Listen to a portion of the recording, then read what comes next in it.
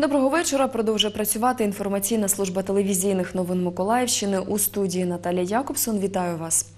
Непланово за програмою, а на класних та виховних годинах так і досі вивчають в українських школах наймасовіший злочин проти людяності за усю історію Другої світової війни. 75 років тому у Корюківці розстріляли майже 7 тисяч мирного населення. На відміну від білоруської хатині, де загинули 149 цивільних, Корюківська трагедія й дотепер не потрапила у підручники історії. У Корюківці ситуацію виправляють на позакласних тематичних уроках. На одному з таких заходів побували і наші колеги з Чернігівщини. Я залишилась сама. Серед мертвої хати, серед мертвого міста, палаючі хати. Померли мої і сестричка, і мати. Це рядки з вірша Бабусині сльози, який учениця 10 класу Корюківської школи номер 1 присвятила Корюківській трагедії.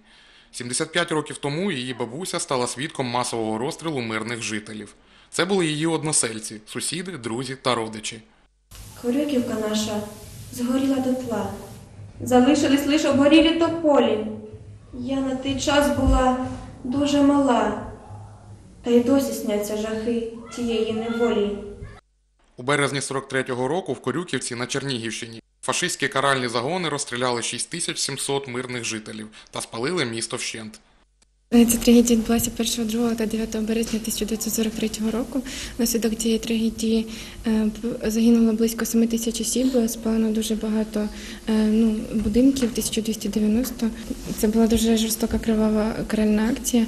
Е, Ну, як розпочиналась вона, що із Щорсу прибули каральні загони, які оточили е, ну, Корюківку, і під приводом перевірки документів вони зганяли ну, жителів до е, відділення клубу, земвідділу, навіть на церковне подвір'я, і розстрілювали по 50-100 осіб.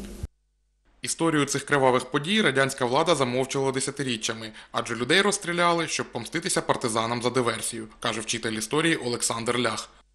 А оскільки в радянській історії і за періоду Радянського Союзу партизани були як народні месники або народні герої, тому їх було невигідно для влади е, викривляти їхню постать у цього образ героя. У підручниках історії і зараз пишуть про білоруську хатинь, де загинуло 149 людей, французький орадур із 642 жертвами. А от в десятеро масштабніша корюківська трагедія так і не потрапила до шкільної програми. Параграфи про радянський партизанський рух. Тут у нас висвітлюються партизани як народні там, герої, як народні месники, їхні прізвища, але в тому числі не сказано також про Корюківську трагедію. Це є кривавим уроком історії не лише такого місцевого осередку на нашому рівні, а взагалі для всієї Європи, світу. Е, Сучасні події на території Сходу України підтверджує нам, що на прикладі Корюківської трагедії можна було сформувати в населення ненависть отаку до різних жорстоких політичних режимів, ідеологій. Але ми бачимо, що вони зараз повторюються.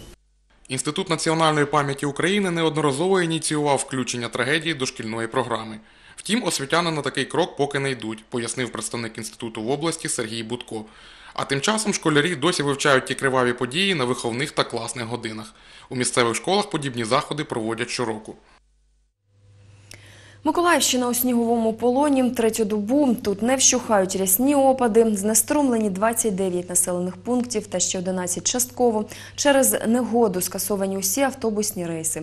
Зі снігових заметів рятувальники вилучили 89 автомобілів.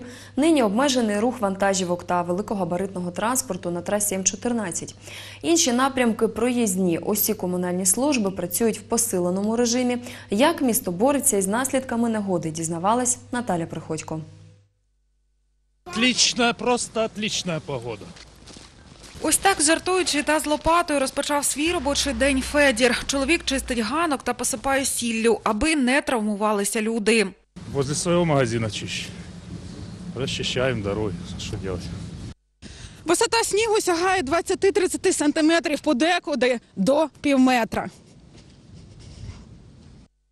Відночі в обласному центрі комунальні служби очищують від снігу автомагістралі першої черги. Потім перейдуть на другорядні дороги. Всього задіяли понад 30 одиниць техніки. Почищення, ну, во дворах поганенько трошки. Як дороги? Ужас. На зимней резине отлично. Проспект Фрунзе расчищено, вот эти вот, видите, только начали чистить. Від п'ятої ранку працівники житлово-комунальних підприємств вийшли на розчистку прибудинкових територій та тротуарів. Проте миколаївці нарікають на слизькі доріжки. Надо чистить дороги. Где кто чистить? Смотрите, ка- вот надо всех их выгнать и почистить. Тим часом міська влада звертається до городян з проханням не виїжджати на власних автівках без особливої потреби та не паркуватися на узбіччях автомагістралей, аби не завадити роботі снігоприбиральної техніки. 31 единица техники нашей коммунальной, плюс около, порядка около 100 единиц мы задействуем техники от э, различных коммерческих структур.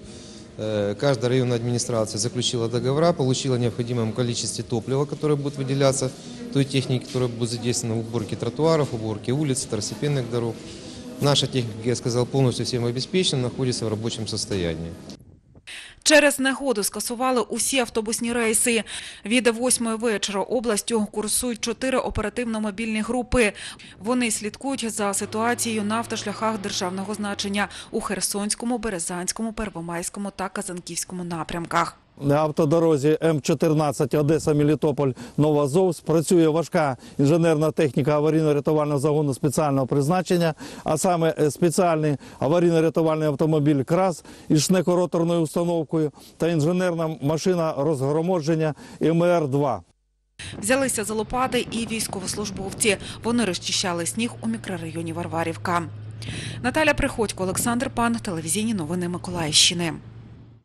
На продовження випуску зведення зони проведення антитерористичної операції там українські військовослужбовці продовжують боронити наші позиції, незважаючи на агресивні дії з боку окупантів.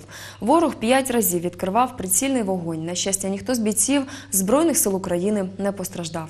На Луганському напрямку ворог вів вогонь із мінометів різних калібрів, гранатометів, зенітної установки і кулеметів по захисниках Луганського. А з автоматичних станкових гранатометів, великокаліберних кулеметів та стрілецької зброї порушував перемиря біля Новгородського. Гранатомети різних типів і стрілецьку зброю противник застосував неподалік Кримського. На Донецькому напрямку під обстріли зі 120 та 82 мм мінометів потрапили наші позиції поблизу Павлополя, що на Приазов'ї.